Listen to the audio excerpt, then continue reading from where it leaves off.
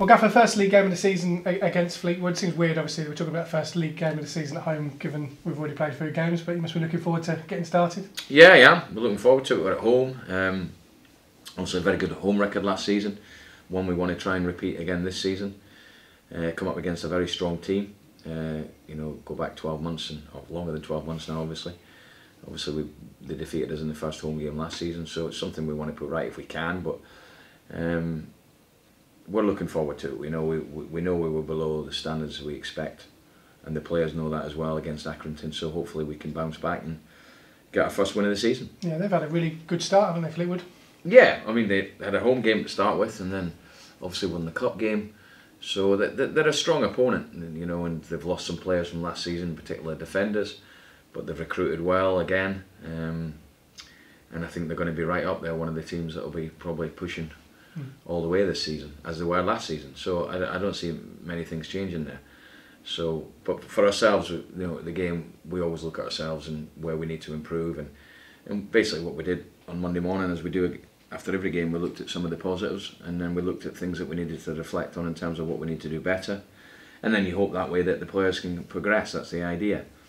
But um, you know, the players are fully aware that we need to improve our performance, and in particular the intensity uh, got into this game on the weekend. Yeah, there might have been a bit of a surprise package last season, but they probably won't be this year, given the fact that the players they've recruited and, and what they did achieve last year. Yeah, they didn't surprise me last season because if you look at the players they had in, in terms of a lot of experience, you know, Evans, Madden, Coutts, uh, things like that. They brought in the loan market, Gibson and Souttar. Gibson towards the end, obviously Souttar at the start.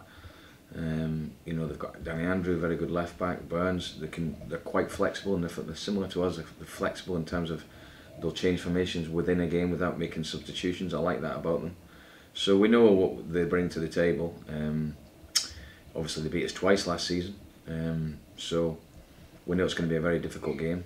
But we'll prepare as we always do, and it's up to the players then on Saturday to produce a performance and you know, we, we need to get back to winning ways. Yeah, some fans might have been confused when they saw Louis Reed on the bench, thinking how can he be on the bench because of the salary cap and mm. all that malarkey. But obviously that doesn't come into effect until October, and obviously given the fact you had Reece Brown out, and Reedy's not done anything wrong in terms of his performances, that's probably why he was been your thinking. Yeah, I think what, what, what I've explained to the players that possibly are not going to be in the salary cap is not about their footballing ability. It's just about obviously we can only get so many players in it, and the players that have, that, you know, the obvious ones we've spoke about have, have been great and trained very well.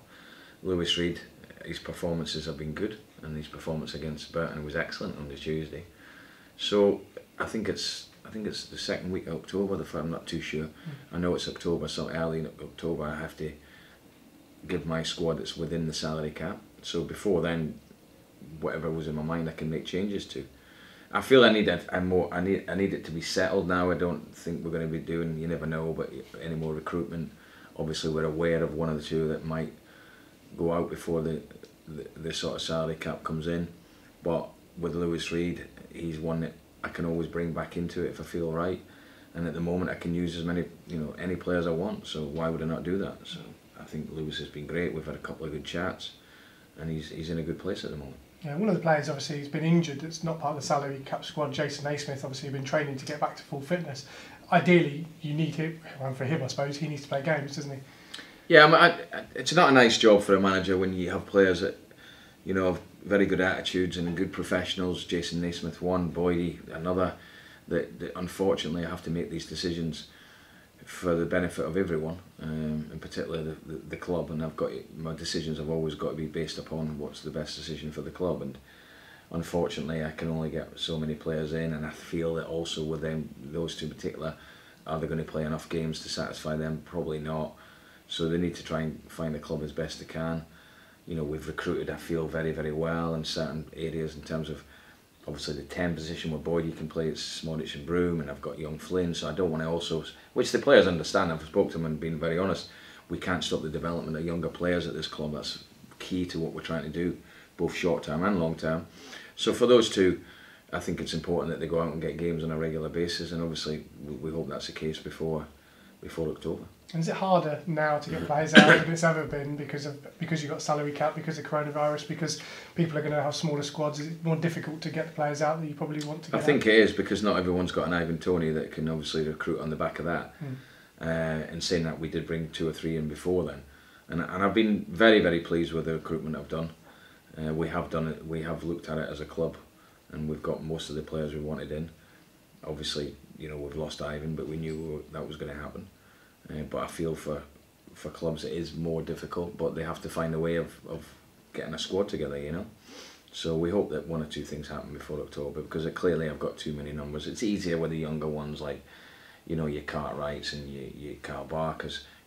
You're getting them experience and, and developing them, going out on loan to perhaps non-league or League Two in the cases where maybe Sam and Kyle. So we'll wait and see. Serhat's another one I think is going to be a very, very good player for us. Mm. But his development now is to, to go and play some football. And, you know, it doesn't mean that he comes in one year and then he's gone. We're not looking at Serhat that way. Certainly not. We're looking at, okay, what's the next stage of his development?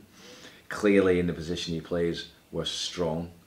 And we feel that him going out on loan would, and a regular games to the right club that played football and fit him into the right way and shape will really benefit him. And then he'll come back to us and we think, okay, he'll have a lot more belief and confidence and play league football. So these are the decisions you have to make, but it's a, it's a, it's a thought out, it's a well thought out plan. It's not something that just comes.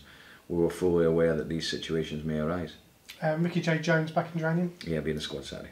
Yeah, he's, he's looking good. And that's a boost because obviously, particularly given the availability of selection last weekend, and he gives you something different as well, mm. doesn't he? Well, that's what you look for in, in and players in different positions. In his position as a striker, he gives you something different. There's no question about it. And something we missed last week, we needed something different.